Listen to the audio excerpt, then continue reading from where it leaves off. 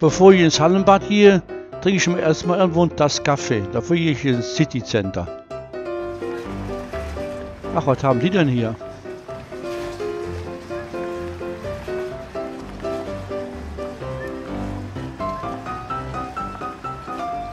Das sieht aber gut aus. Das sieht aber gut aus.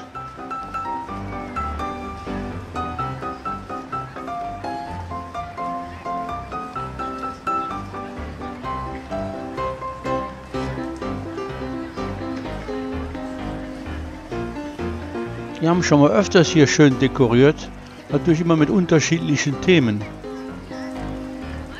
Noch schnell das Café in das Schwimmbad. Muss ja schon sagen, hier im City Center ist immer sehr sauber. Das war es dann auch schon wieder.